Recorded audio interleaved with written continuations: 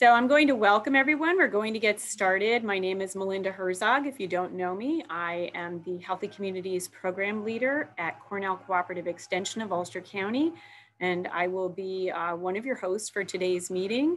Uh, welcome today's March 11th, 2021 Healthy Ulster Council meeting. Um, so our other co-host, I'll let them introduce themselves. Vin. Hi, I'm, I'm Vin Martello. I'm Director of Community Health Relations for the Ulster County Department of Health and Mental Health, and I also direct the opioid prevention strategy. And Katie? Hi, I'm Katie Sheehan Lopez. I'm the SNAP-Ed Nutrition Educator at Cornell Cooperative Extension. Thank you. So uh, at our Healthy Ulster Council meetings, uh, we generally get together if this is your first meeting for professional development, for networking, and for collective action. Um, and uh, today our meeting is on Zoom, so I'm just gonna quickly, although now we're mostly Zoom experts, go over just a few basics. First and foremost, I wanna let you know that today's meeting is being recorded and it will be available at healthyulstercounty.org on the community tab uh, a week or so after this meeting. And um, so if you have, you know, if you're shy about being in the recording, you can turn your video off, although I have to say we love to see your face. Um, so there's just a few quick things that you'll want to know. Of course, if you need to exit the screen up here, um, you can do that and then you can get back in by going down below to where the little camera is and that'll bring you back in. Um, you can choose how you want to see us by uh, splitting the screens and just seeing the speaker, or you can see everybody. And uh, there's also a chat box. And today, um, during the presentation part of the meeting, we'll be asking that uh, you keep yourself on silent and all questions will go in the chat um, until it's time for networking, where we'll let everybody have a chance to, to speak. But we've got a lot of people here today, and that's kind of how we're going to work. So be watching that chat box. And you can see who's at the meeting under the participants right here with this little uh, icon with all the people.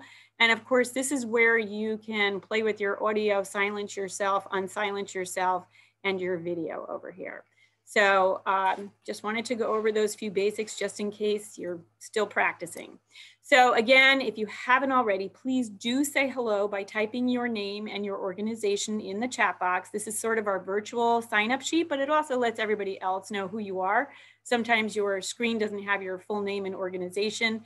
So this gives a chance to let everyone know who you are and where you're from. Please stay muted throughout the presentations. You will be asked to ask your questions in the chat box and then when it's time for that, I will read them and the uh, presenter will get a chance to answer them.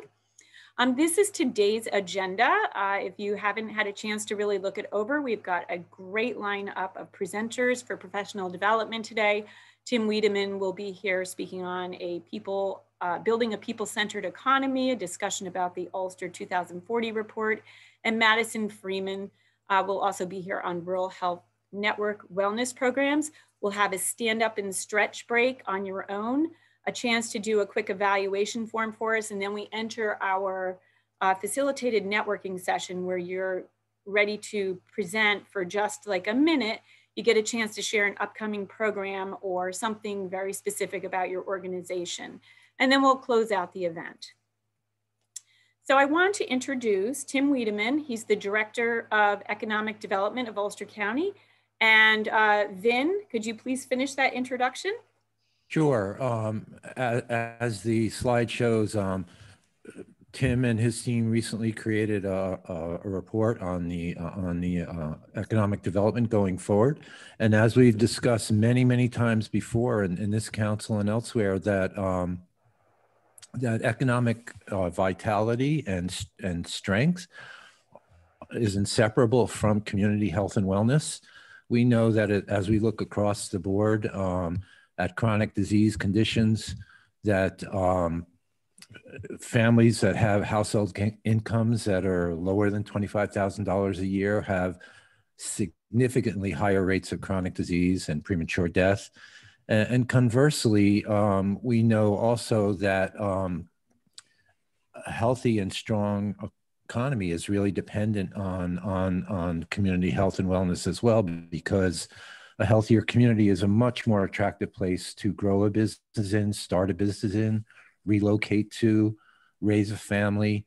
So that it's really there's two sides of the same coin, and uh, to the extent that we can um, do both, is really going to move Ulster County forward in a really great way. And without further ado, uh, I'll turn it over to Tim.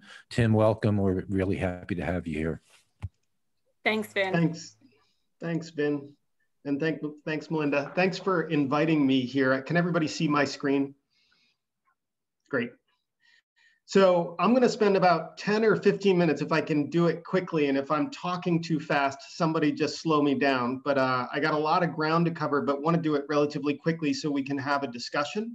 Um, I think Vin set it up perfectly. Um, we've, uh, you know, the, the, Office of Economic Development, now Department of Economic Development in Ulster County, has, you know, been challenged over the years with what I think everybody now would recognize is a disconnect between economic development and the well-being of our people. And that was really a foundational principle that led us about a year ago when our new county executive, Pat Ryan, took office to reevaluate our economic development strategy. And so I'll, I'll, dive right in with an image that actually the county executive chose when we were putting together a slide deck uh, for the uh, presentation that we do to the Rondout Valley Business Association. He liked the Jenga analogy. So um, the state of our economy right now is precarious. Um, it's precarious not just because of the pandemic that we're all still grappling with and our businesses are struggling to uh, respond to, but it's been that way for some time. I think we we used a lot from existing reports as we were thinking about our strategy for economic development. One that I would encourage you all to be familiar with if you're not already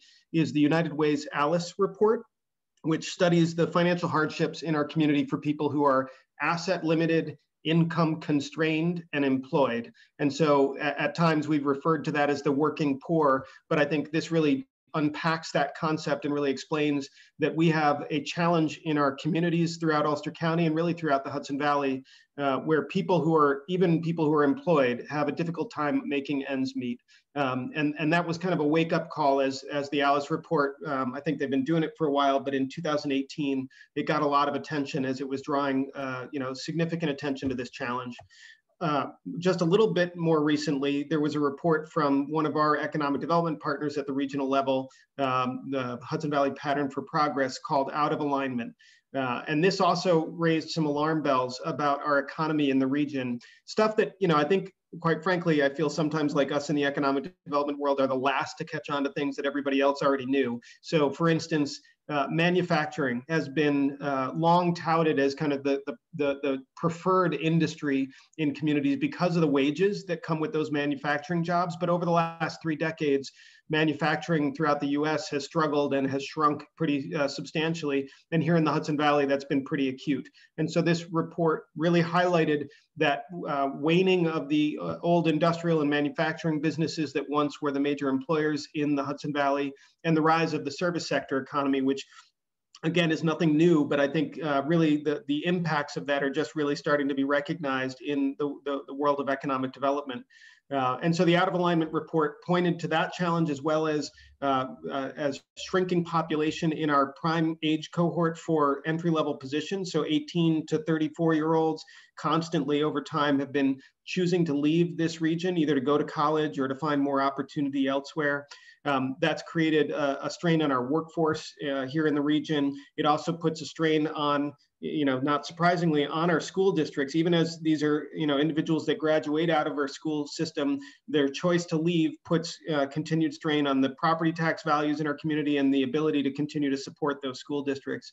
So, you know, kind of compounding challenges that really led Hudson Valley Pattern for Progress to also raise an alarm bell about the combined increase in cost of living and the declining wages that people in our community have been experiencing over the years. Um, but all of that got even more complicated in the last year with COVID-19. And, and we had a group, uh, I think there's a slide in a minute, I'll quickly mention the folks that helped us think through this strategy. Um, that group met starting in September of 2019, and we had a bunch of really great meetings as we kind of grappled with what are the new challenges and how do they uh, influence the direction we want to take in our economic development work here in Ulster County. And then the pandemic hit. And so we took a break during that first wave in March, April, May, and June uh, reconvened the group in June and said, you know, do we think we need to start over, put this on hold? And the overwhelming response, which I think now in hindsight makes a lot of sense, was no, no, no, this just makes everything we've been talking about even more important. And, and I think we see that now as we're starting to emerge out of the pandemic in some ways.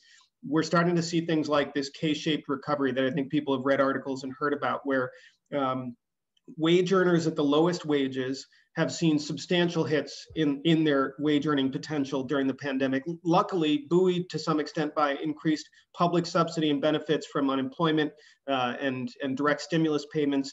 But ultimately, the wage earning potential of people at the lowest income brackets has declined significantly since the pandemic, whereas folks at the higher wage levels have seen almost no decrease, and in fact, some increase in wages even in that time period since April of last year.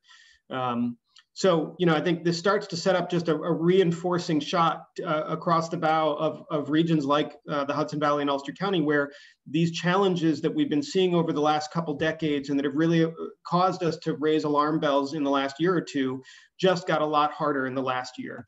Um, and in particular, I'll note that, you know, Ulster County is, is uh, it's my home. I love this place, but it's in a weird kind of um, a fringe of a large metro area. It's, you know, I think we don't always think of it as rural. We uh, think of some parts of the county as maybe urban or suburban, but in the general sense of things, it's on the ex-urban uh, fringes of a major metro area, and those are areas that are most likely to be hit hardest during this recovery from the pandemic as larger firms that are generally located in major metro areas you know sustain recoveries in those metro areas the rural areas and the smaller firms in those rural areas are going to continue to struggle especially as the, the, the stimulus that's been so prevalent during the pandemic wanes and, and we're left trying to figure out how we sustain an economy without that stimulus.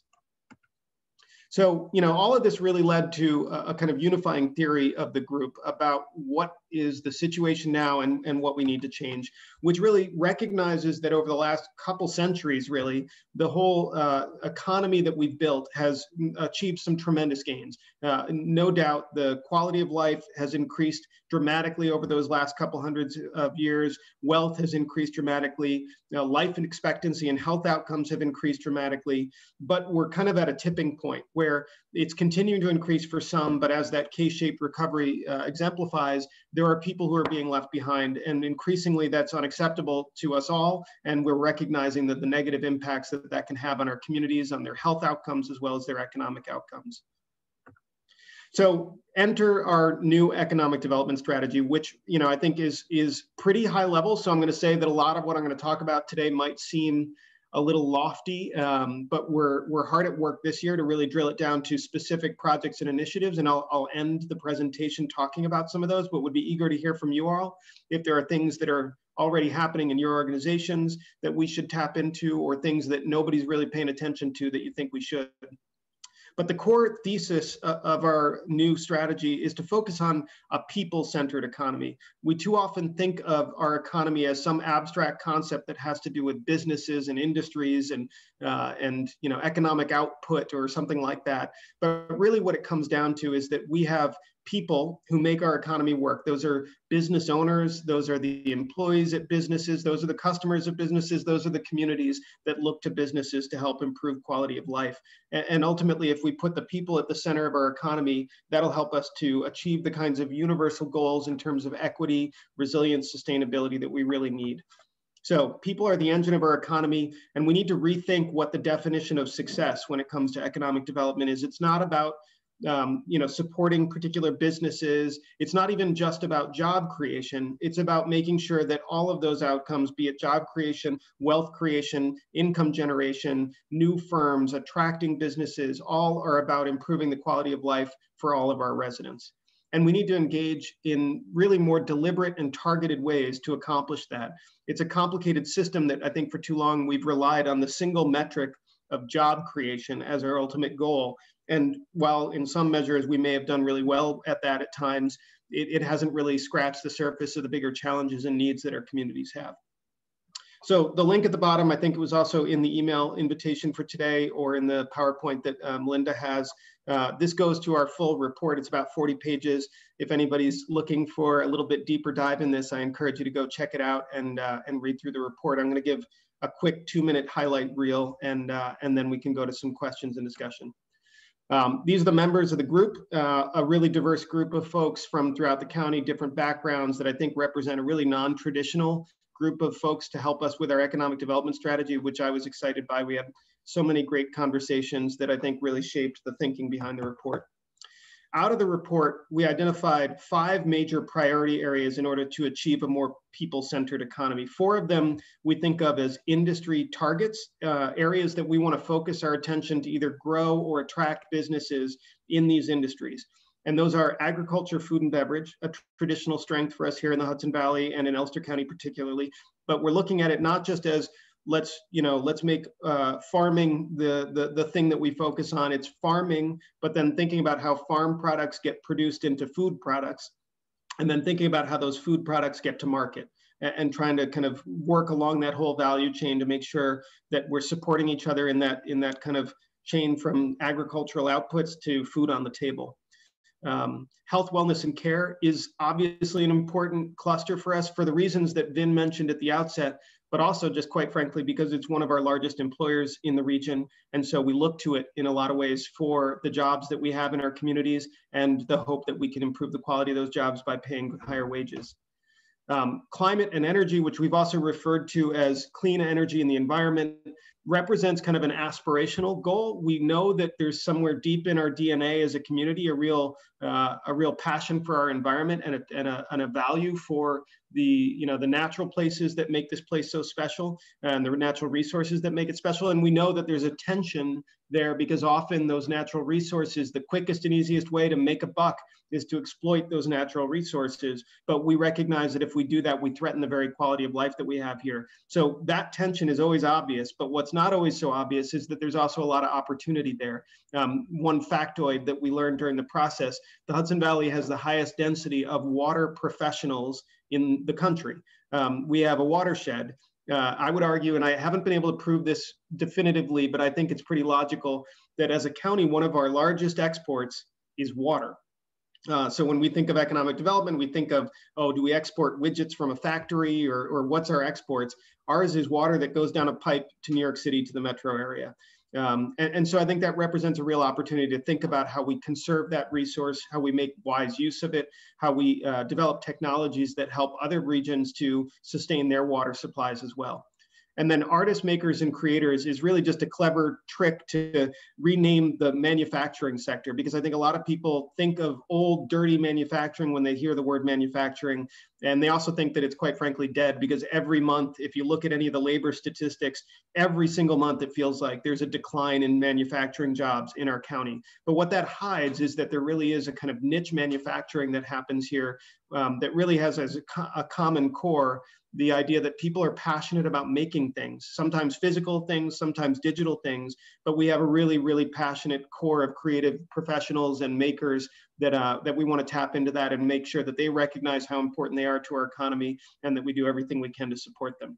And so those are the four sector-based approaches that we're going to take to our economic development work. The fifth is a recognition that we also have to invest in social and economic infrastructure. We can't do this just by helping the businesses, employees, business owners around these four industries, but we also have to invest in things like housing, childcare, transportation, uh, and uh, and other social and economic infrastructure that helps us to uh, achieve the broader goals of an equitable economic development strategy. And that means we need to focus on local ownership. We need to remember that local ownership matters. It keeps more in terms of economic outputs in our community. Um, and we want to support that. We also want to make sure that we're thinking, I mentioned this before, but not just about job creation, but about quality jobs, both in terms of the experience that workers have in those jobs, but ultimately in terms of how those jobs are able to support uh, and sustain uh, folks to live here in our communities um, economic development, just like, you know, I, I, admire the Healthy Ulster Coalition because of the recognition that we can't do this alone. This has to be about partnership. And the same is true in a complex system like an economy. And so we know that we have to have partnerships as kind of the core basis for our work. Uh, and we also need to recognize that for too long we've left out a, a large section of our communities, um, whether that's black and brown communities, whether that's women, whether that's uh, seniors, um, whether that's low income households. We tend to think of economic development uh, in way too narrow a sense in terms of who the stakeholders are and who we should be engaging, and we need to do a better job.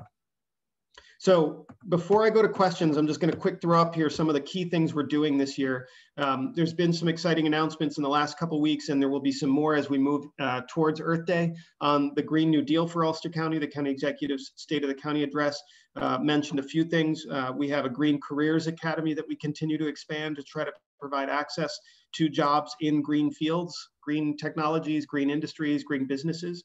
Um, we're also ramping up a program to recognize our business leaders who have committed to environmental goals called the Green Business Champions. Uh, so we'll recognize those businesses and help to grow the number of businesses who see um, environmental outcomes as a part of their bottom line.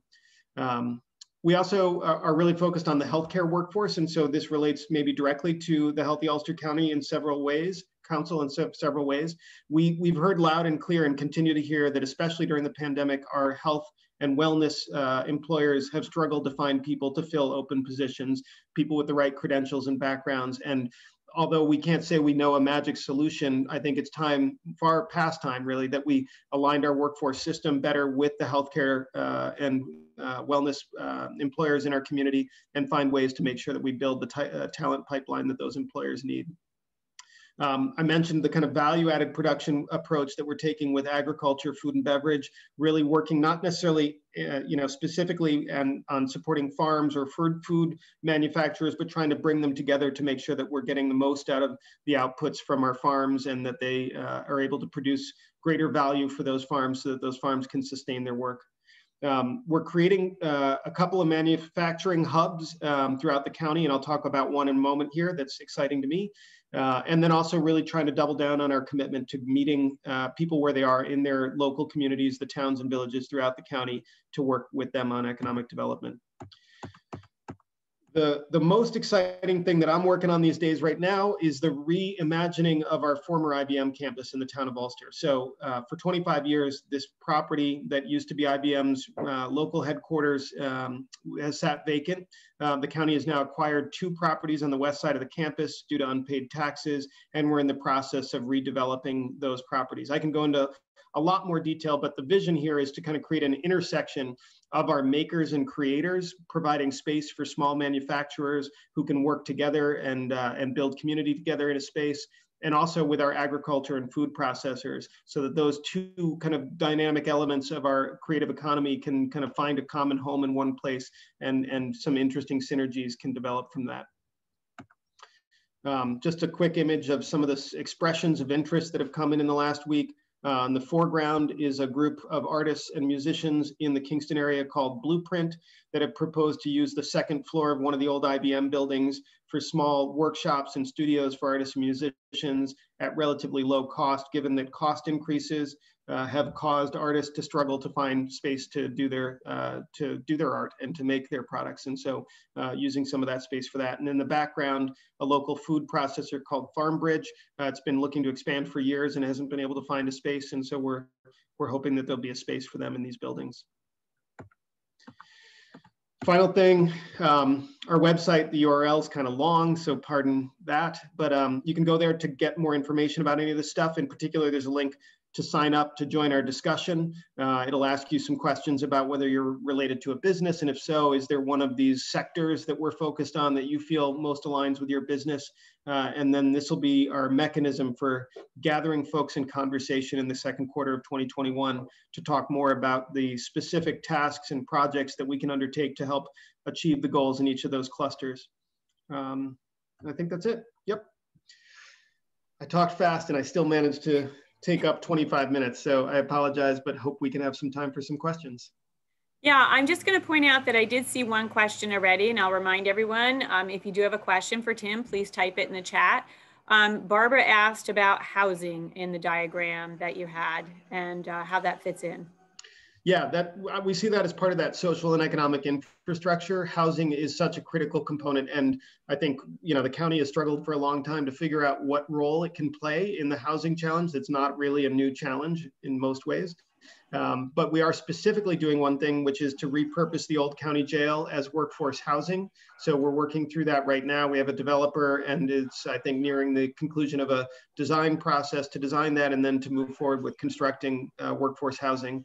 and then also engaging with local communities to really say, look, ultimately we we don't have as much housing as we really need because housing is very expensive to build here. And one of the challenges that makes it expensive is that most communities find it hard to agree where they would allow housing to be developed. And so we have to have that conversation. It's a hard conversation. Often people don't want it developed in their backyard. There's a name for that, uh, and uh, and we have to get over that and find a way to understand that all of us benefit from having enough housing to make sure that the people who work in our, our local businesses have a place to live. Um, so I have another question about where does tourism, ecotourism, and the Mid Hudson Valley as a premier destination come in? Yeah, so it's a common question because we didn't address it specifically in the economic development strategy. Um, we have a Department of Tourism. We are fortunate to be located in a place, both the proximity to New York City and the geographic and kind of physical beauty of this place makes it easy for us to win at tourism. And we've won in many ways over the years. I think we've got challenges, obviously, to address during the pandemic. Our tourism and hospitality businesses have been hit very hard, and our tourism office is doing uh, yeoman's work trying to make sure that we access all the funding support that we can to support them to recover from the pandemic. But I think this strategy is really about all the other things that we need to focus on to make sure we have a diverse economy here. Um, and so we've we certainly worked together closely with our tourism office and expect that we'll continue to have more discussion about how to fit tourism in here. But I will say explicitly that our ag, food, and beverage cluster has a tourism dimension. Obviously, agritourism is a, an important part of our tourism economy. Our makers and creators cluster also has an interesting tourism angle as people do come here to experience, you know, the both the food manufacturing, but also um, other manufacturing, niche manufacturing here and to purchase those products. And then obviously the health, wellness, and care cluster that we identified also has a tourism dimension. People come here in order to uh, visit wellness providers or find that an important part of their experience while they're here. Um, so I don't Oh, I do have another uh, comment in the chat from Vin. It's great that the plan's building on Ulster County's unique assets, economic development, not a one size all fits all proposition. Are we strengthening the mechanisms and supports that help entrepreneurs transition from a good idea to a viable business? Yeah, that's that's one of our focus areas, especially in a couple of the clusters. In the ag and food and the makers and creators cluster, that's an important strategy. A lot of these businesses, a lot of our businesses in Ulster County are micro enterprises, under 20 employees. Uh, many of them are sole proprietors and kind of you know looking to either add their first employee or grow from there. Um, and so we have a lot of partnerships with organizations like the Mid Hudson SBDC, Small Business Development Center, that helps with that kind of uh, growth strategy that some of these businesses have. We're also fortunate to have a couple of incubators and accelerators at our local colleges and in other local institutions that help us with that. But it is, it's such a critical piece of this. We're not, I think, geared towards trying to attract a 500 person or 1000 person company what we're really trying to do is to help those two or three person companies become 10 or 12 or 20 person companies and and that is about providing those entrepreneurial supports Great. Um, I have a question from Kathy Nolan. Are there ways to bring our educational institutions from colleges on down into these conversations? Hi, Kathy. Long time no see. Yes. Um, in fact, I'm working on uh, a contract right now with someone to do an inventory and assessment of exactly that, looking at, in particular, in this green economy side of the equation, um, looking at what are the skill sets that are required for the occupations that consider we consider to be a part of that cluster, and then how do we make sure our educational and workforce partners are aligned to provide those skill sets. Um, and I think that's a key challenge. It's one that came up in a couple of really um, focused conversations with the Ulster 2040 working group that um, you know we may we may still need some help trying to figure out how to even approach that challenge because our educational and workforce systems are big behemoths that are kind of geared in the way that they're geared and trying to change direction for those organizations and institutions is obviously challenging but I think we're all in alignment that we need to do it more. So I get to ask one question just because I have one. Um, and that would really be, uh, we all know that, you know, uh, high speed internet really has a lot to do with uh, economic development. And clearly, this year, like no other, has underscored how many people and areas are without it. Um, are there plans to address that?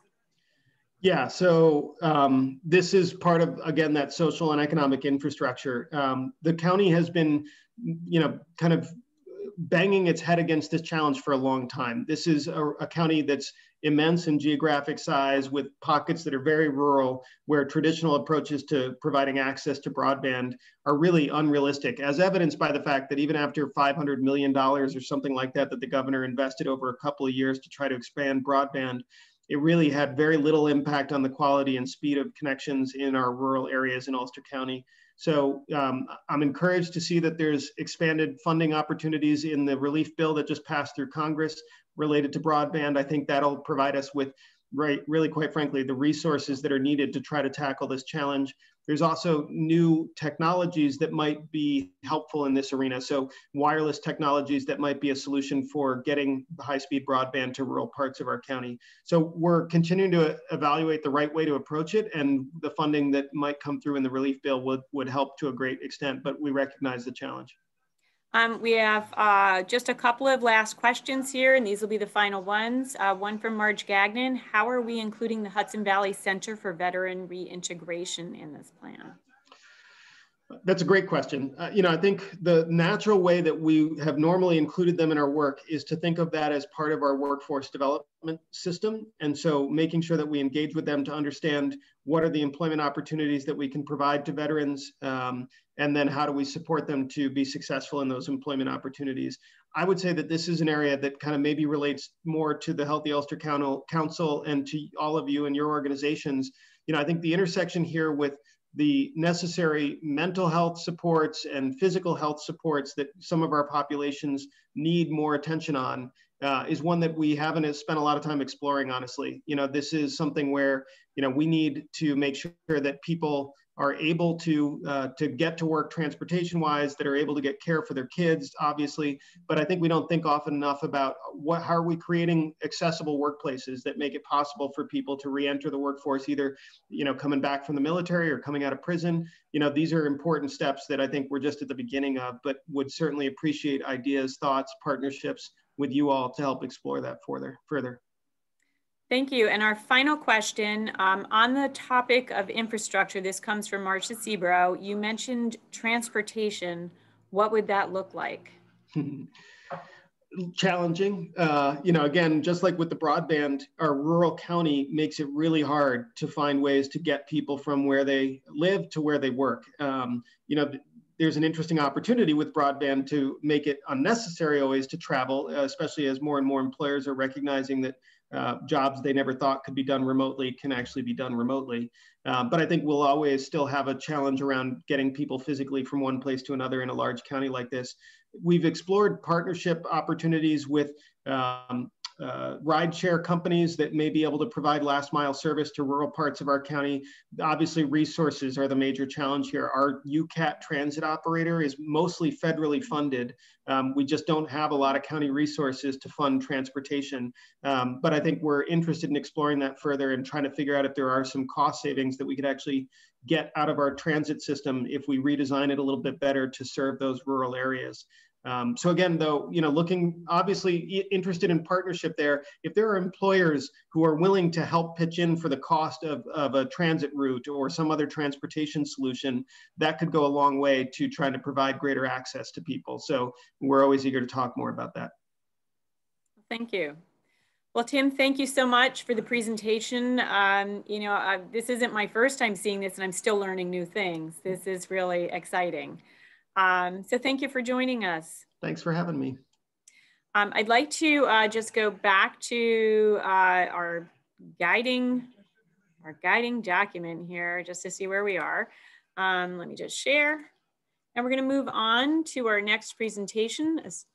Um, I'd like to introduce Madison Freeman. She's the program coordinator at the Ellenville Regional Hospital um, at the Ellenville Rural Health Network and she'll be sharing with you all of the programs, the Rural Health Network Wellness Program. So I'm going to uh, give her a chance to set up and welcome Madison.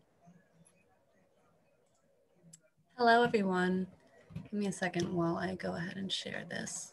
Yeah, and it gives everybody a chance. Uh, if you have any last minute thoughts for Tim, type them in the chat. And thank you so much, Tim. We really appreciate you joining us today. If you're able to stay, we would love to have you. Um, I think Madison's going to have a lot to share on Ellenville Regional Hospital. Exciting stuff. That's Yeah. We can see your presentation, so you are good to go, Madison. Can you guys hear me okay? Yes. Perfect. Okay. Um, as Melinda said, uh, my name is Madison. I am the new program coordinator for the wellness programs here at Ellenville Regional Hospital, the Rural Health Network. I'm just going to give you a, bro- a brief overview of the different population health and chronic disease programs we offer.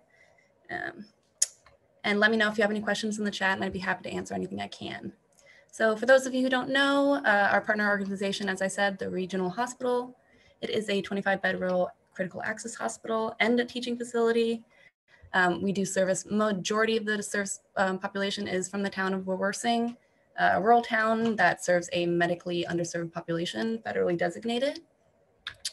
Additional information about the Wawarsing community. As most of you know, I'm sure you're kind of mostly familiar with the geog uh, geography of the area. But if not, we do also have some data regarding some of the other social terms of health that impact our population specifically, uh, including the income, poverty ratios, uh, as Tim previously mentioned, the asset, limited income constrained and employed population. Um, he did go over that kind of little bit briefly, but for our population specifically, that is uh, 23% of our population.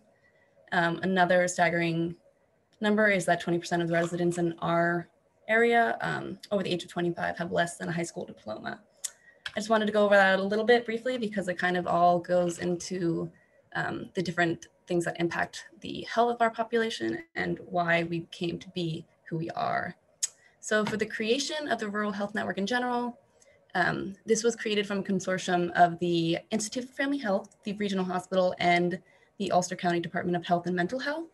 Um, in 2017, when the hospital decided to lead the charge on writing a grant for the Network Development Planning Grant um, from HRSA, and it was the first grant that our network received. So after a year of planning, we decided to jump ahead and start programming. Um, and the first program we started and the kind of basis for our programmatic efforts is the Healthy Hearts program. This was uh, received through funding from the Rural Healthcare Services Outreach Grant Program uh, through a health improvement special project in 2018. And the goal of the Healthy Heart program and the goal for the majority of the basis of our network was to reduce the incidence of cardiovascular disease through both early identification of at-risk population as well as through provision of preventative services such as nutrition, education, health education, uh, physical activity, and other lifestyle changes. And to do this, we utilize a community health worker model. So why do we specifically focus on cardiovascular disease? Um, I'm sure a majority of you guys understand that cardiovascular disease in our area is a prevalent issue. I do have some uh, facts here for specific to the Wawarsing community. For our age-adjusted ER rate, it is 16 per 10,000, which is uh, both three times higher from Ulster County as well as four times higher than New York State. Similarly, our ER rate for hypertension is 47.1, um, which is two times higher than the county as well as the state levels. So the Healthy Heart Project, uh, just to outline some of the objectives we initially outlined um, that we currently work on and just the project in general. This again, starting in 2018, we are going to be ending this grant in April uh, of 2021, uh, just to mention that, but we are continuing with the cohort. But the basis of the cohort itself, uh, we wanted to recruit 150 individuals when, within our community that were within that target population, which I will discuss a little bit more, to participate in a community health worker cohort. With those cohort members, in addition to working with community health workers specifically, we hope to link them to wellness groups, classes, social supports, uh, community events within our area. Um, and additionally, in, in addition to the 150 cohort members, we hope to engage at least 200 community residents in these kinds of ongoing community events. Um, the idea is that we also want to we want to show our presence. We want to help link them to all the social supports that they might need to mitigate the, their specific health issues, um, and also to build our network of partners and organizations that are servicing our population. In terms of capacity for clinical service staff, as well as kind of mitigating issues associated with cardiovascular disease risk, uh, we hoped to provide training for the staff here at the hospital, as well as the Institute on best prax- uh, practices for cardiovascular disease, as well as other best practices such as motivational interviewing, uh, mental health, um, first aid, things of that nature. And similarly, we wanted to integrate, uh, develop integrated workflows between the staff here as well as the staff at the Institute. That way we are kind of supporting care coordination and streamline uh, risk uh, address, addressing risks for those patients. Okay, so the target population uh, for these, this cohort specifically are individuals between the age of 35 and 70. Uh, in our region, uh, it does say here the Wawarsing region, but we do um, service 10 separate zip codes. So we go into a little bit of Orange County in the Wurtsboro area, area as well as down into Pine Bush. Um, so we do service a large rural community specifically um, who are at risk of developing cardiovascular disease, but do not have a diagnosed CVD. Um, and at this, I just want to touch upon a little bit. Uh, this was criteria specifically for the Healthy Hearts program, but with additional funding currently, our eligibility criteria for those with uh, heart abnormal, abnormalities has kind of been a little uh, is less strict. Um, so we are looking to include more participants in the cohort to kind of address the uh, broader, like broader chronic disease risk. Um, the risk factors we're looking for now and we previously looked for were smoking status, uh, those with a high BMI or weight, um, hypertension, a family history of heart disease, a diagnosis of diabetes and or diagnosis of prediabetes. So we talk about the adult cohort. Um, so from this, we decided we kind of wanted to expand. And so we created a family wellness program as well to enlist a cohort of families with children between the ages of 5 and 13 that are at risk of obesity. Um, this was funded initially through a fund for women and children back in 2019, uh, but we got additional funding this July through a uh, network development grant to expand that program. Again, we utilize a community health worker model. So we have community health workers addressing just the family cohort as well as one addressing just the healthy hearts cohort, um, utilizing a family approach to healthy behavior change with the idea that if we are addressing the risk factors and the behaviors within the parents, and we're engaging them specifically, there's going to be a downstream effect onto the children. So we touched on why we address cardiovascular disease. Um, so why are we addressing childhood obesity? Uh, we obviously saw another increased need within our community specifically. Here we uh, I'm showing kind of the Ulster County rates we have obviously higher rates in Ulster County as compared to the majority of the mid Hudson Valley um, in obesity and overweight status within elementary school children. So you see on the right, that's also the um, status of overweight and obesity in Ulster, uh, Orange County, Ulster County, all the counties in New York. Here I show some um, data specific to the Ellenville, uh, Ellenville School, which is the school that we primarily service. Uh, we have some 2015 compared to some 2018 data.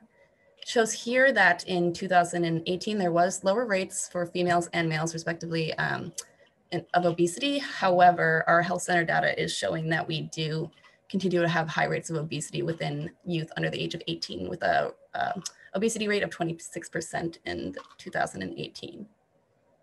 So it's still a prevalent issue that needs to be addressed. So how we hope to address that. Um, the project objectives here for the Family Wellness Program, again, a 36 month project period. We um, initially, uh, since this is a network development grant, one of the major things that we're doing is we're conducting a community health needs assessment and a subsequent gap analysis. So we're looking to see what services are the families that we're servicing and the majority of the net, um, population we're servicing missing. Um, where are those gaps that we're seeing? The idea is that once we identify them, we'll be able to recruit additional community agencies through networking such as this to fill those gaps and identify needs within our population. We also hope to enroll 90 families into the comprehensive obesity reduction program and an additional 300 individuals uh, engaged in ongoing programming. Specifically, we actually are working with Cornell um, through the EFNEP classes. We are partnering with Planned Parenthood for a secondary objective of addressing sexual education programming and teen pregnancy rates here. Um, we want to hold gardening education classes. And then a final uh, activity that we are doing, which is pretty cool in my opinion, is a healthy restaurant initiative. This has been put on hold, obviously with COVID and a lot of area restaurants being um, closed for the time being. But the idea is that we're going to be recruiting area restaurants to kind of do an evaluation of their current menu offerings, specifically towards children, the idea that our nutritionist um, is going to go in and provide them with cost-effective alternatives. The idea being that there would be healthier options available to youth and adolescents on their menus and improve eating patterns within our community. Eligibility criteria for this cohort. So we are looking for families with children between the ages of 5 and 13. Um, I will say that they should be within the ages of 5 and 13 at the end of our grant period. Um, so if they are at this time, three years old in two years, they will be within that uh, age limit. And we are looking for those that are at risk of obesity. This is uh, purposefully vague, I will say, because we are hoping, again, this is a preventative wellness program. So we wanna get as many families involved within the area as possible. So this kind of uh, criteria and eligibility is at the discretion of the providers making the referrals. Uh, but I did list out here some of the different things that can be looked at to determine risk, such as if the child is already overweight, um, if the parents are categorically overweight or obese, if they have comorbidities such as cardiovascular disease, diabetes, tobacco use, things of that nature. And if you are seeing there are like obesogenic behaviors such as unhealthy eating patterns, sedentary behavior, and lack of physical activity, they would all be eligible for the program. I also just want to touch upon current demographics uh, for our cohorts. Um, previously, I did say we were hoping to engage, uh, enroll 150 people into the adult cohort, and we did surpass that number. We are at 165 at this time, which was very exciting. Um, some of the uh, different clinical measures. So we have an average age of 55 and a half, uh, 0.4, but the average heart age, um, which is based on the CDC uh, heart age calculator, is 68.8, making the age difference between actual and heart age to be 14.7 among our cohort members. Um, we do have an average 10-year risk of developing a heart attack or stroke of 17.4% and a BMI of 34.3, which would be categorically obese. Some other stats, um, just touch on, uh, we have 21% of, uh, 21% of our participants uh, have a diagnosis of diabetes, 56% have hypertension, and then 43% use tobacco. Uh, family cohort demographics currently have 29 families and 87 individuals. We are hoping to get up to 90 by the end of the grant period, but I don't foresee that being an issue at this time. Average age of 24, seeing that uh, we are including children in that number, but we do also still have an average BMI of 34.3. Additional family cohort demographics, I don't, these aren't as um, measurable, seeing that diabetes, uh, hypertension, tobacco use are also including children within those levels. So it won't, it's going to be lower than within our uh, adult cohort. Okay, so now that I've talked about the different cohorts, uh, what do we offer these participants? As I previously mentioned, we do utilize a community health worker model, uh, meaning that once we are given the referral and we have, uh, we call the consumer and we, they agree to be in the cohort, we sign the consents and then the community health worker will work with them to develop an individualized action plan for behavior change, um, specific to the behaviors that they are, they were deemed to be at risk, uh, whether that be weight status, tobacco uh, use, things of that nature. We develop short-term and long-term goals, as well as the individual action steps that need to be taken to achieve those goals. Um, in the same method, we utilize a nutritionist. So we have a nutritionist working with these cohort members if they are um, requested to kind of work towards individualized goals and have individual consultations with them to address the specific needs of those consumers. And then I'll touch upon each of these additional offerings. So one thing that's very cool um, clinically that we have through an additional grant funding is we are offering free calcium scoring to participants. Uh, they don't need to be within our cohort. They just need to be given a prescription from their primary care provider. And what this is, um, these are for participants that have a significant family history of heart attack or stroke, um, a heart age that is 10 years older than their age, and then a 15% or higher risk of heart attack or stroke in the next 10 years. And this is just one of those clinical things that can be utilized to determine severe risk of uh, a heart attack or stroke. And then the carotid ultrasound also has the same eligibility criteria, as well as if they had a recent stroke, um, if they have coronary artery disease, if they have an abnormal sound in their carotid arteries, um, based on providers' uh, use of steth- stethoscope, um, and then again, the heart age and the percent risk of heart attack or stroke. Additionally, we have this cardiac uh, wellness prehab program. So what this is, um, is a two, uh, it consists of two aerobic classes a week um, for a total of four months, uh, consisting of 32 total visits with a the physical therapy department here at the hospital. So what happens is a participant signs up, they do an initial evaluation with the physical therapist. And from that point on, they are doing evaluations every eight weeks um, af- in addition to these two aerobic classes per week. And then they, after the uh, 32 visits, they do a final post evaluation.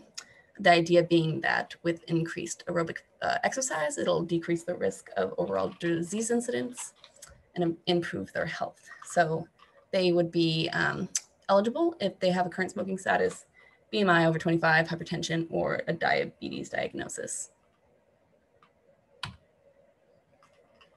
In addition um, all of those things that we offer uh, and how we get our community engagement of more than 300 people in the last three years, uh, we offer a multitude of free programs and classes. Uh, I will say a lot of these things have either been transferred to virtual or they are on hold with COVID and or the winter.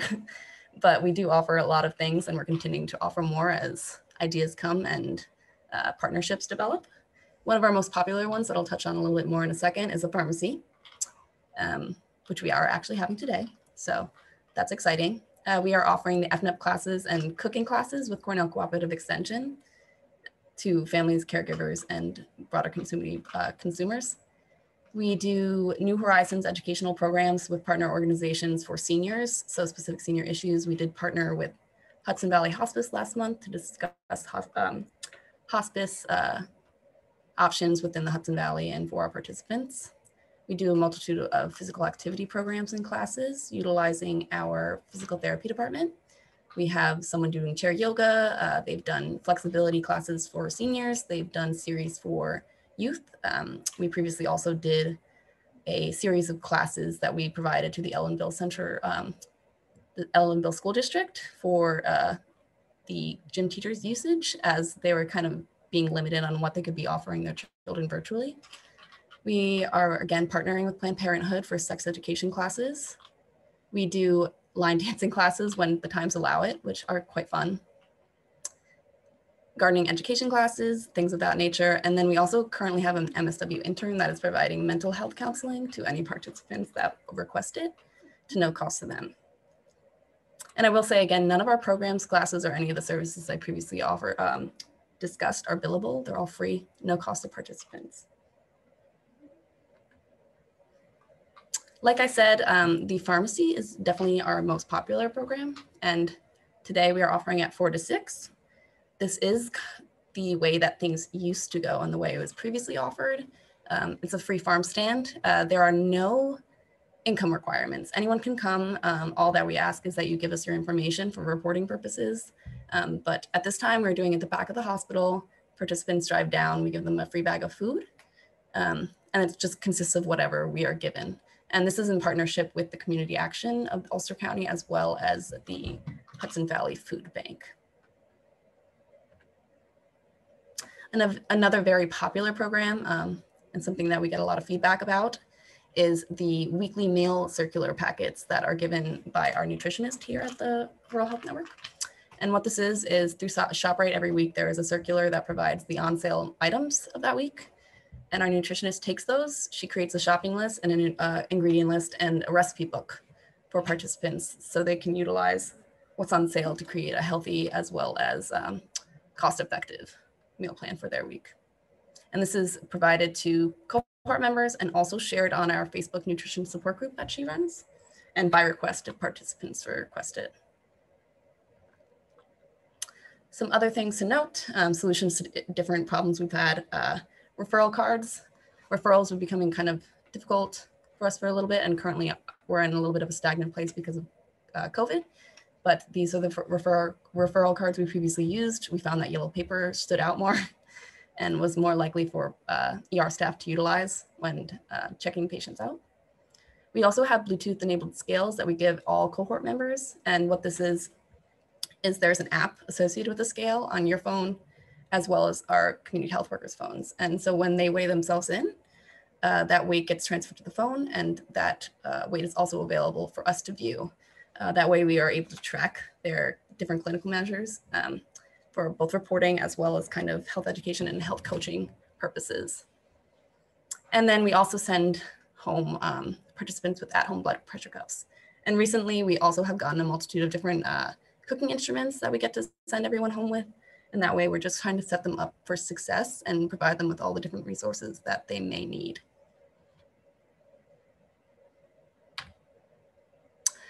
So I went through that a little fast, but I did try to touch on all the different programs we offer. There are a lot. Um, I wanted to give you guys a well-rounded view of what we offer on the wellness side of things. But with that being said, I will stop talking and let anybody ask questions that may have some. Yeah, I just want to remind, thank you so much, Madison. That was so informative and so much is happening in the Wawarsing area. Um, please, everyone, put your questions or comments in the chat that you have for Madison. I'm already seeing people say amazing presentation, great stuff. There was certainly a comment early on from, uh, I believe from Vin that cardiovascular disease is the leading cause of death and premature death in Ulster County. And of course, you're speaking about higher rates uh, in the Ellenville yes. area. So, you know, this is uh, certainly good information that we're getting. Um, Cindy, uh, um, Yep, I did it again. Christine Noble said uh, great information. And uh, we're seeing that was really great. I'm going to reach out to you. Uh, that came from uh, Ms. Varvero. And then um, had, Kathy Nolan asked, has your ret retention been good in the program despite COVID-19? Yeah, um, it definitely has. I think that uh, especially with isolation, we're seeing that majority of the participants are having more communication, if not um, the same as they were pre-COVID because there's less, especially for our senior population, um, when contact with outside individuals is limited, we're providing them a resource for not only just kind of health education, but also just general communication. So retention has been good.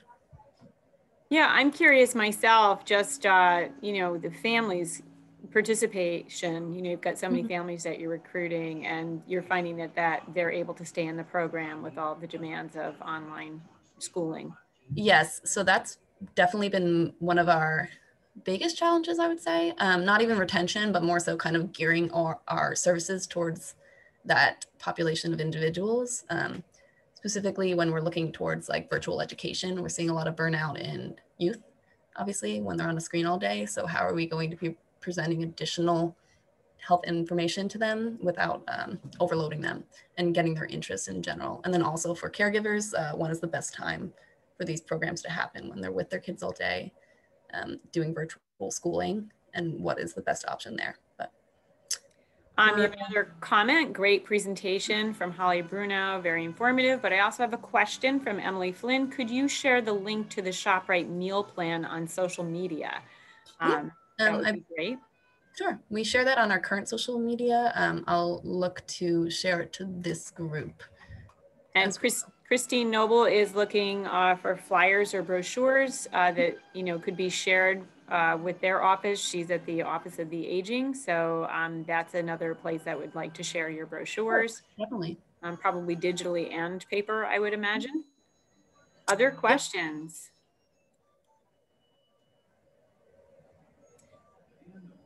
Well, I don't see any other questions. I'm just going to say that was really, really informative. As much as I already know about the programs there, I still learn new things. So, um, and uh, Suzanne Callahan just said that Ellenville Regional Hospital is doing great work. The Institute is delighted to be a partner. And I think all of the partners in this project, in the programs, including Cooperative Extension, we're just learning so many new things from really you're doing this groundbreaking innovative work we all have sort of dreamed of everything from the Farmacy uh, you know to uh, your healthy restaurant work you're going to embark on we've all taken stabs at it but you're actually implementing it there with success so we're excited about that any other questions for madison Okay, well, thank you so much for your presentation. I know Madison is going to have to leave a little early uh, from this meeting simply because she does have the Farmacy program this afternoon. Um, but I wanted to thank her again and uh, bring us all back to the meeting. So let me just share my screen again and pull us back up into the PowerPoint. Assuming I can find it. I don't even see it. I may have lost it. So I have to find that for you and we'll bring that back up. Oh, got it here. There we go. It was a different color this time, so I wasn't recognizing it. Um, what I want to ask all of you today uh, before we do our quick stretch break is, uh, you know, we need to always have evaluations for our meetings. We use these to help design future meetings and kind of evaluate how it's going for um, members and participants at, at the council meetings. So feedback is really desired. What I have done, um, let's see, I can't get to my chat box now. I should have done it before I did that. So let me open my chat.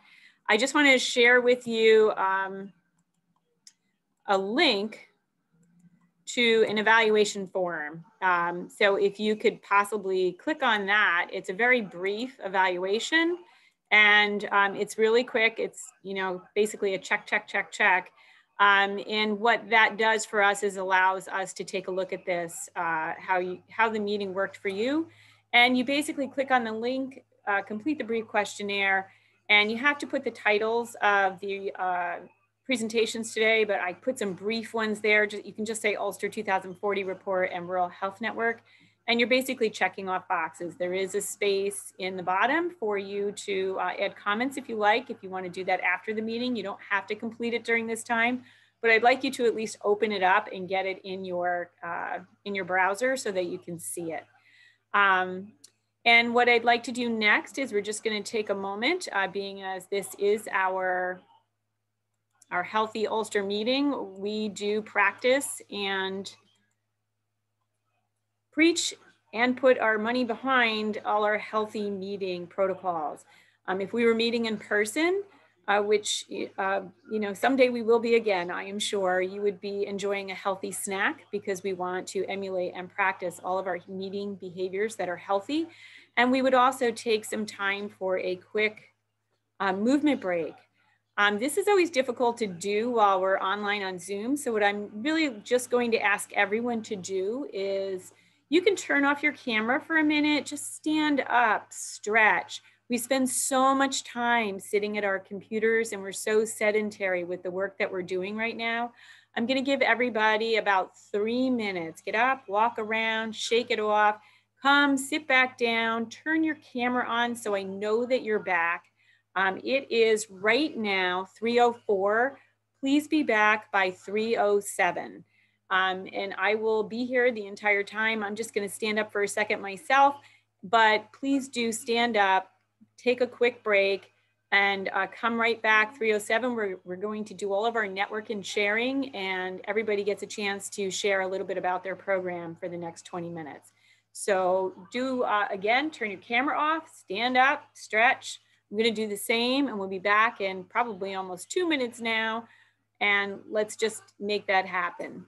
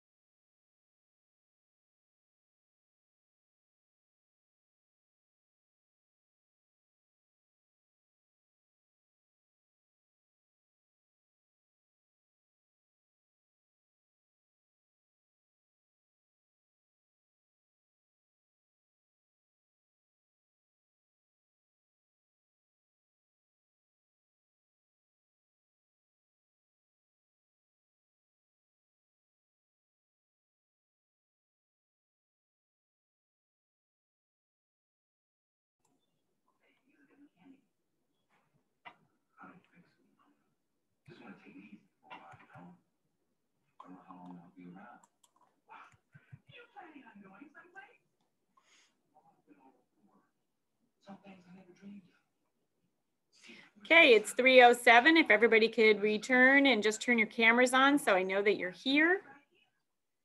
Just take a quick look, see, make sure we've got everybody. All right, I hope you took a nice big stretch, looked longingly out at the sunshine. but we've got um, some the really uh, important part of our meeting at this point, and that's where you all get to share what you're doing in your program. Um, so I just want to go over really quickly our networking rules. So I am the facilitator and I'm going to call upon all of you to share individually, state your name, the name of your organization, and really briefly share an upcoming event or program that you'd like everyone to know about from your organization. Try to focus on your event or your program rather than the whole organization because you want to be concise Remember, you can also share details such as your website, program dates in the chat. And the chat does get saved and it's also put uh, on the website and it goes also into meeting notes. So if you have details that you want to put up there, you want websites or you want dates for things that are coming up, please put it in the chat. But when I call upon you again, you're going to state your name, your organization, and give us, you know, a really brief uh, uh, event or upcoming program that you've got. So without further ado, I'm gonna stop sharing here and we'll move into that. There we go.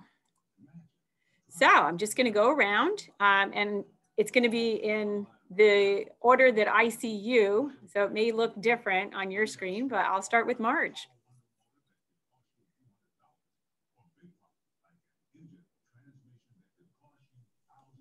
Hi, everybody. Um, just wanted to make a note that, especially in the uh, children's daycare industry, that uh, we will be resuming some of the Heartsaver uh, and first aid pediatric trainings that are necessary for the staff. Uh, more to follow on that. Probably it will be in Tuesday evenings, but as the weather gets nicer, we'll be looking to do them in an outside environment, uh, probably actually on my back patio because it makes it uh, very reachable in terms of center of the county.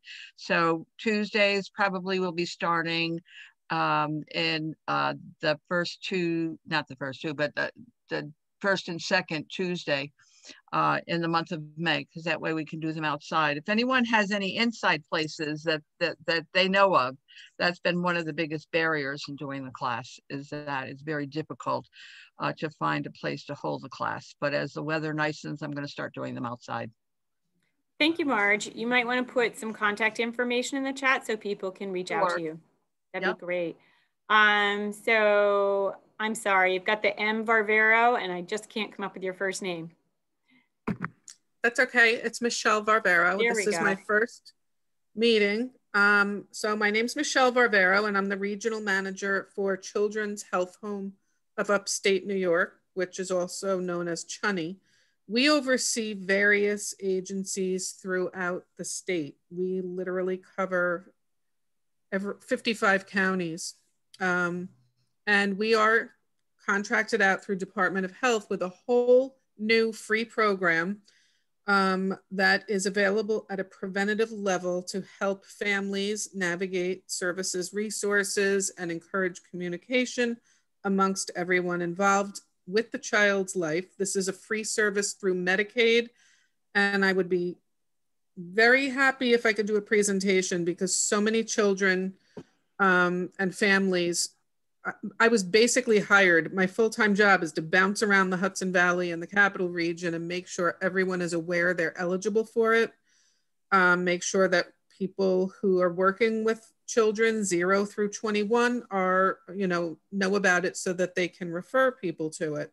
Um, the one other thing i'd like to throw in mainly because of the two presentations today is that i have um, been making some efforts to reach out more in like greene county and ulster county because a lot of our agencies are not located in your counties but providing services in the county so I'd really like to collaborate. These, um, you know, whether you guys would like to provide care management or have an agency house care management in your agency or school, or I was going to reach out to um, Madison for the hospital. this is a community-based program that really, um, I don't want to take up all the time, but it's definitely purposeful and there's a lot of room to be creative here. So I'm going to put my contact information in um, the box and I would be happy to talk to anybody about this. Thank you, Michelle. Kathy Nolan? Thank you. Thank you, Melinda. Um, so a couple of things. Um, I work with Catskill Mountain Keeper. Uh, we're an environmental group that enriches the Catskills. And we're working on um, a bill to ban neonicotinoid insecticides in New York, in treated seeds in New York State. So when the, the insecticide is put on the seed, it goes throughout the plant. You can't wash it off. It shows up in the in foods, including baby foods, um, any um, fruit or vegetable grown near that near those agents. Neonicotinoid means new nicotine-like, and these are nicotine-like insecticides that we're now feeding to ourselves and our children. Um, they're in about 50% of the US population, and they're in a lot of 30% of, of Long Island groundwater. So I'll bring you more information about that bill as it um, moves forward and seek the um, assistance of these groups to really uh, call on our elected officials to uh, take this action. It'll be pretty dramatic action, but um, pretty dramatic action is needed. And then I uh, just want to say a quick word about uh, Samadhi Community Outreach Center. Uh, this is a center uh, on uh, Clinton Avenue in Kingston for people in recovery or seeking to go into recovery. And we have um, daily programs, um, hundreds of free programs um, each month for people who are in recovery or seeking recovery in a recovery community. And so I put the link to our calendar in the chat. Thanks. Thank you so much, Kathy. Katie Sheehan Lopez. Hi, um, so my name is Katie Sheehan Lopez. I'm the SNAP-Ed nutrition educator at Cornell Cooperative Extension. So I provide um, nutrition education to SNAP eligible populations all over Ulster, Columbia, and Greene counties. So that could be youth, it could be a classroom, could be seniors, it could be adults, um, really anyone as long as they're SNAP eligible. And if you have a group that you think would be interested, please let me know. I will put my contact information in the chat and you can always reach out to me um, or Marcia if you are interested in nutrition education. Thanks. Thank you. Carolyn Hurley. Hi, my name is Carolyn Hurley. I'm with Ulster County Habitat for Humanity. I am the Family Services Coordinator and also the Volunteer Coordinator. This is actually my first meeting. Um, and uh, currently, right now, what we are what we are doing is um, is we are in the process of trying to find more partner families um, that would criteria for our uh, home ownership program. Um, we're having a little, you know, the Ulster report uh, was very, very interesting. And, you know, we are seeing um, the cost of land and trying to find land for a home for our home ownership program. Um, and the cost of our building has bills have really um, gone up and the cost of the homes in this area. So we are dealing with with some of those issues around that too as well. We are looking for land to right now, more land to build. Um, another program we're doing right now is we're in the midst of our Women Build. Last year we would have been on the build site, but none of our volunteers can come on the build site, but we're doing a virtual Women Build. So if you can follow us at Facebook, and Instagram. And um, there's just, you know, there's some information up there about our cost of home advocacy program. And maybe I can tell you more about that one at our next meeting because I really want to do some training with HFHI about that program and bring that locally. So I might have more information about that, our housing advocacy program. Thank you. Well, nice to meet you all. Welcome. Marcia.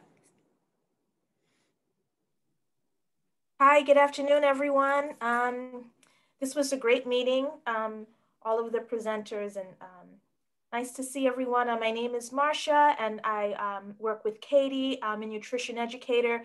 I provide uh, an eight-week series of um, uh, uh, family nutrition education. Right now, um, the series is done online. It's for an hour a week. Um, and my target audience uh, is low income um, uh, parents with children under the age of 19 who are eligible for SNAP, uh, WIC, free or reduced school lunch. Um, and I'll put my information in the chat box. The second and uh, fourth Tuesday every month at 4.30, uh, I do an EFNEP um, orientation. It's about 20 minutes. Um, and you can even uh, like self-refer um, any clients. They can sign up online at our EFNEP page and find out more about the program. So I'll put that in the chat. Thank you.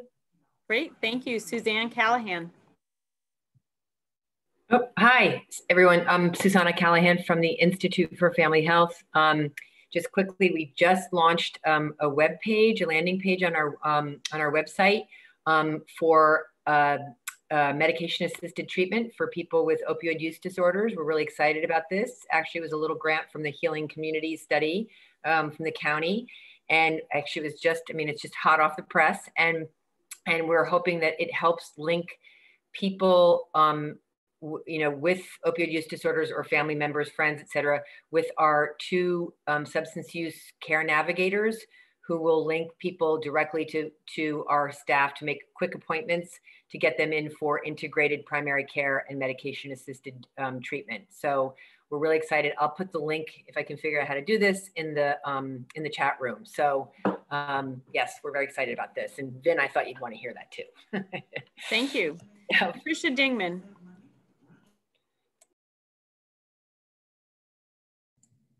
Sorry, you caught me taking notes.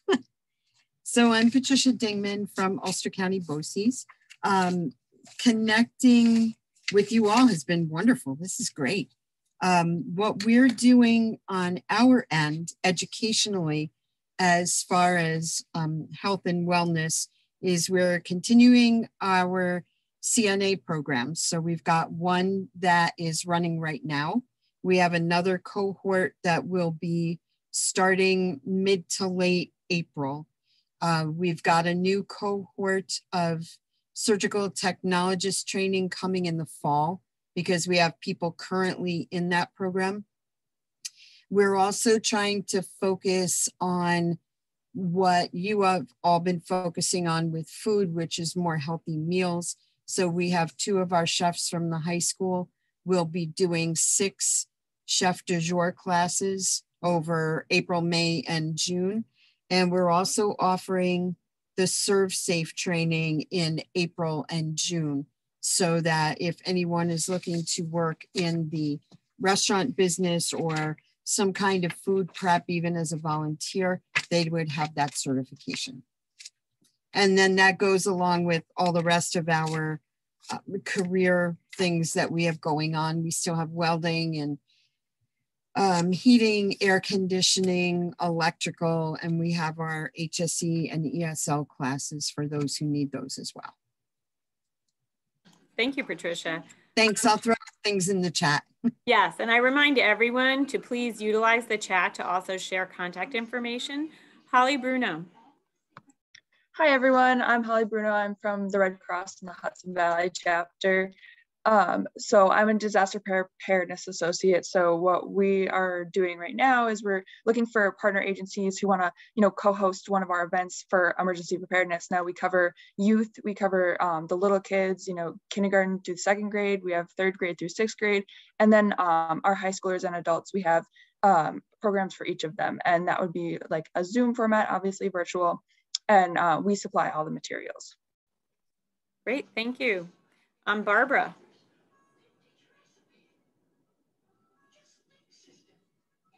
Barbara? We'll move on. Uh, give Barbara a minute to get there. Lailani uh, Yizar Reed. And please let me know if I pronounced your name wrong. Just correct me. It's okay. It's uh, Leilani Yizer Reed. And I, no worries. I am the team leader for the Mid Hudson Problem Gambling Resource Center. And this month, March is Problem Gambling Awareness Month. So we are, we have been posting a lot on social media. We um, I will too put the link in the chat for where you are able to go to the New York problem gambling uh, new york problem gambling.org to find all your pgam needs.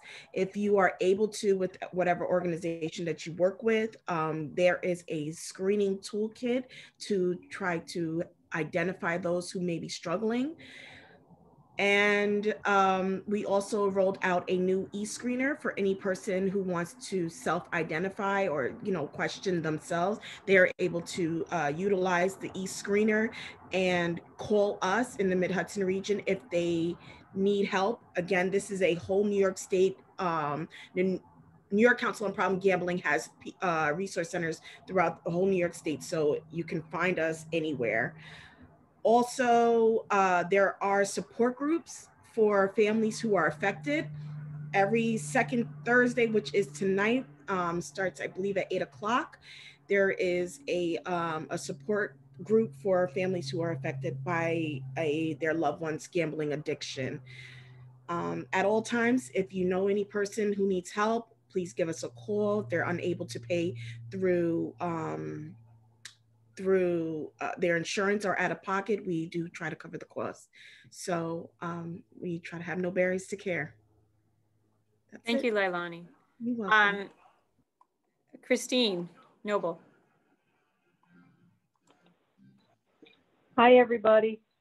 Um, right now, our office, I'm Christine Noble from the Office for the Aging, Senior Aging Services Aid, and I just wanted to let you know we're doing some online learning for seniors. Um, in oh, March 18th, we have a no bake granola bar. Our Office for Aging registered dietitian is going to do that from noon to two o'clock. Our online learning presentations are. We have a couple other ones. You can look on our website for them, but I thought it fits right in with today. And then also, uh, our office is taking names and phone numbers and addresses of homebound seniors where the health, de- we're going to turn the list over to the health department and they will be getting um, registered nurses to go out to the homes to give the vaccine. So it, they would call our main number at our office to um, report the name and uh, phone number of a homebound senior, someone that cannot get out. So that's basically what I needed to uh, talk about today. Hope everybody stays safe. Thank you, Melinda. Thank the you. Presentations were excellent today. Well, thank you so much, Christine. And that's really good information about homebound seniors. I appreciate you sharing that and the work that you do. Vin. Hi. So we, um, as uh, Kathy mentioned briefly, um, Samadhi, you know, Samadhi's doing tremendous work on the ground in, in Kingston, providing fabulous services, but we've really dramatically ramped up our um, opioid prevention uh, and uh, linkages to treatment programs through vastly increased distribution of Narcan, um, vastly increased the number of providers providing medication assisted treatment. Uh, there's a new website that we just launched that lists all the providers. Um, we are getting our high risk mitigation teams up and running. These are the teams of uh, social workers, care managers, um, peer advocates that are working with individuals on the path to recovery through the multi-year process of treatment and recovery with a, a, database system that's been developed to follow them every step of the way and make sure that they don't slip into the cracks of between programs and treatments. Um, and I can really go on and on uh, with this. We also have a, a big big grant from the National Association of County Health Officials, NACCHO, uh, where we're going to be creating a peer-to-peer student-driven uh, um, communications, prevention communications campaign. It's a huge project um, lasting through June 22, where students from all over Ulster County will be participating in creating uh, media messaging designed to discourage um, substance use, experimentation, to um, promote proactive alternatives to substance use. And we're very excited about that because we also have a huge budget to push that campaign out onto all media platforms for an extended period of time. So we're working on all fronts. Um, COVID has definitely um, impacted our numbers um, in the wrong direction, but we think that once the pandemic subsides, that the substantial programs we put in place will really begin to drive those numbers way down. Thanks. Thank you. Uh, I think we got everyone. Um, I, if anybody didn't go, just pop your video on, but I'm pretty sure we had everybody speak. And thank you so much for sharing all this valuable information again. Um, I encourage you to use the chat and remember that most of you, if you haven't been invited to Google Groups, the Healthy Ulster Google group, uh, please send me an email. I'll put my email in the chat and I will invite you, but you should be a member of that now. Once you register for one of these meetings, you are invited. That's another place that you can use to share your information with other members of the council. So if you have upcoming workshops, upcoming events, programs, you want to share flyers, you can send that out yourself on the Healthy Ulster Council Google group. So do be sure to utilize that. That's a tool of our, our membership. Um, so we have come to the point in the meeting where I just basically want to um, bring to your attention uh, the next meeting. So let me just bring this up. Um, so our next Healthy Ulster Council meeting will be held Thursday, May 13th from 2 to 3.30 p.m. And uh, if you want more information on our uh, council, you can visit that at healthyulstercounty.org and lots of other useful information on healthy activities in Ulster County.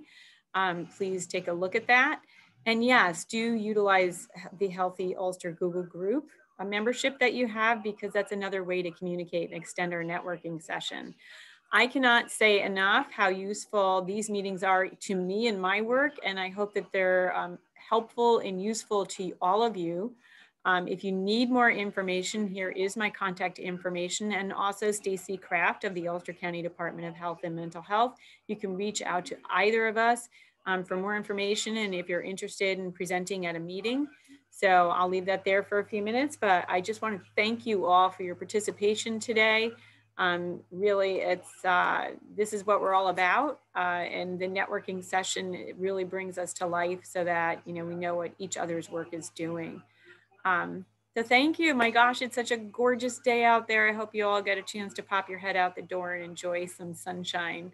I know that's my first order of business, so I want to get that sun before it goes down. And remember, this is the weekend we change our clocks and get more light after work. Yay! Thanks for all, everyone for coming. Thank you. Bye, everyone. Hi, thank you.